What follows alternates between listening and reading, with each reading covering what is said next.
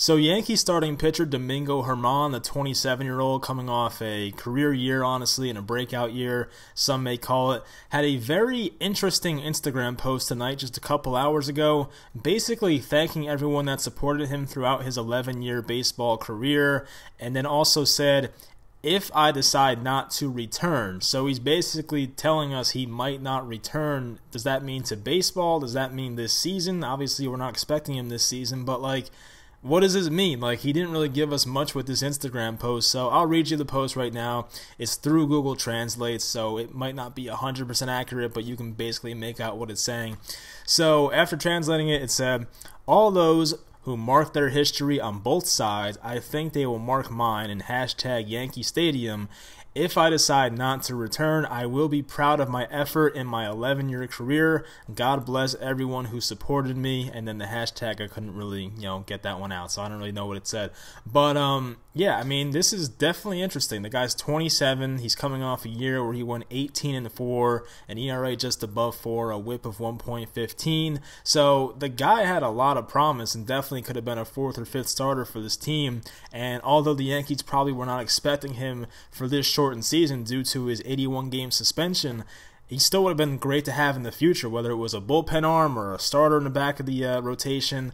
You know, it's just very surprising to see this. I really did not expect this to happen. I don't know if the guy's fighting some sorts of demons off the field. Hopefully not. We'll see if there's some sort of reason that comes out due to this. And he hasn't officially retired yet, but he definitely seems like he's on the fence, which is kind of interesting. So um, hopefully we'll get some clarity about why, but for the year he just had, and you know, I know he didn't pitch in the postseason last year. He got the domestic violence thing in the, the September, I think it was. So unfortunately did not get the pitch in the biggest part of the year. And maybe he has some personal stuff he has to sort out first. Maybe he'll come back in a couple years and he might take some time off. But to see all this was very surprising. And hopefully as a yankee fan we do get to see him as soon as he's eligible because he is a talented pitcher. He's not the best pitcher on the team, but he's a very talented one, and the Yankees are a better team when he's there. So hopefully he does make it back, and you know we'll have to find out. I'm really not sure what's going to happen. It's a wait and see, and you know I don't know. Maybe this was just a, a bad night for him, and he just posted it prematurely. I'm really not sure what to expect from this, but